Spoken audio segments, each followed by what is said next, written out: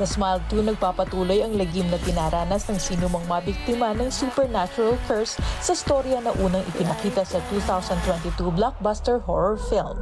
Sa sequel, bida si Naomi Scott bilang si Sky Riley, isang global pop superstar na may tinatagong pagdurusa sa likod ng kanyang mga ngiti sa kamera at mga tagahanga.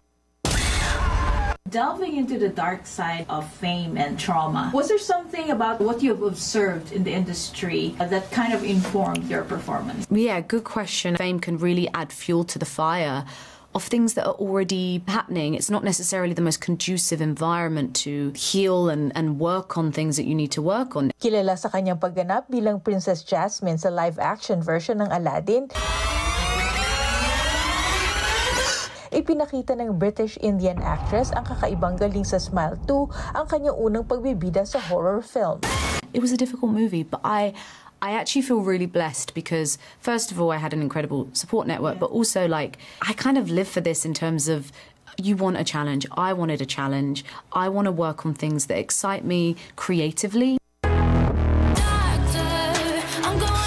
Unang nakilala ang aktres sa Disney Channel movie na Lemonade Mouth, kung saan ipinamalas niya ang kanyang musical skills na nagamit rin niya sa Smile 2. Si Scott mismo ang nag-perform ng kanyang mga kanta ng kanyang karakter. Palabas ang Smile 2 sa Pilipinas simula October 16. Lewis? Yong Chavez, ABS-CBN News, Hollywood. Tuloy-tuloy po ang ating pagpapatrol sa bayan mula lunes hanggang biyernes sa TV Patrol. Alas 6.30 ng gabi hanggang Sabado at Linggo sa TV Patrol Weekend. Sa bago nitong oras, alas 5.30 ng hapon.